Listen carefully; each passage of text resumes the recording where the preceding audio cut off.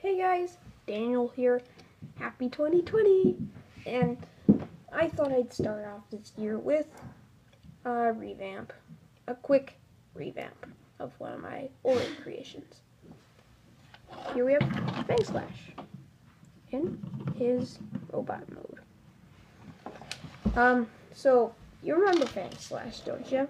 Yeah, you know that snake guy, Beast Wars esque. Yeah, you know him. Um, I thought that I just thought that he didn't look right. His old version. It was too thin and skimpy on, you know, it's just too thin, if you know what I mean. He just too skimpy on armor and stuff. So I thought I'd bulk him up with version 2. Now, this is not version 2.0. Um, that was the spider version of Fang Slash, but this is not spider version. This is a new version. His, he's alright. I like the design. He's pretty bulky. He's got kind of an asymmetrical kind of Beast Wars-esque look to him. He's very Beast Wars-esque.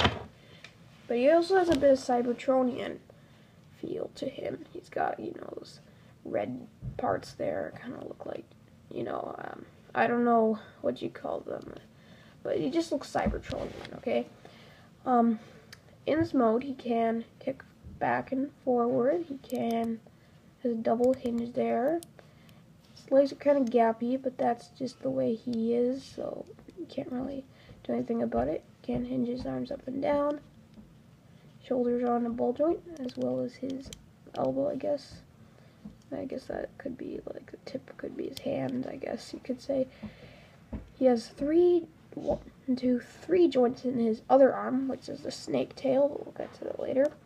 Can look up and down yeah, it's just a really simple creation.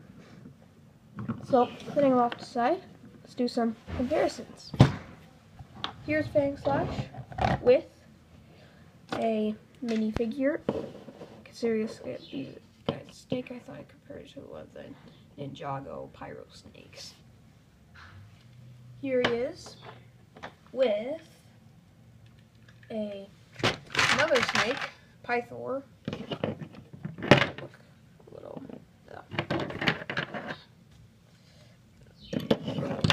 better. And here he is with Bumblebee. I think the size is alright. Uh, it's a little bit off, but yeah. So anyway, let's transform this guy.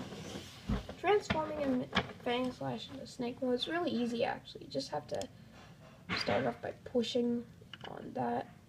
And so it kind of goes like that.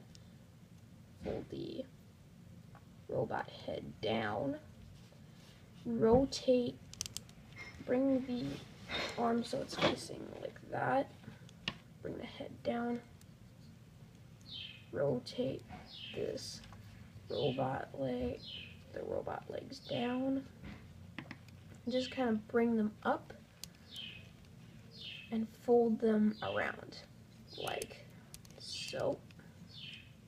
There you go, Fang Slash in beast mode. Think this new beast mode looks pretty good. I think I, I honestly like the old one a little bit better. But it, this wasn't, this beast mode was actually inspired by the Kurata from, figure from Beast Wars Neo. Um, you know who that guy is. But yeah, this is a nice little creation. Don't have much to say about it. It's simple. It works all right. I think it just, I think it looks I think it looks good. I just like it. The legs do have a tendency to pop off, as you can see here. So let's ready to do. Let's get into some comparisons.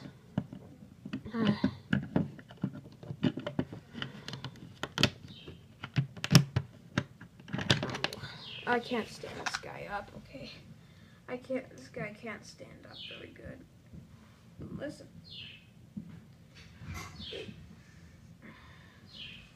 This guy does not. This guy does not stand up. I'm gonna have to hold him there. here he is with another Pyro Warrior. Here he is, Bumblebee. And here he is with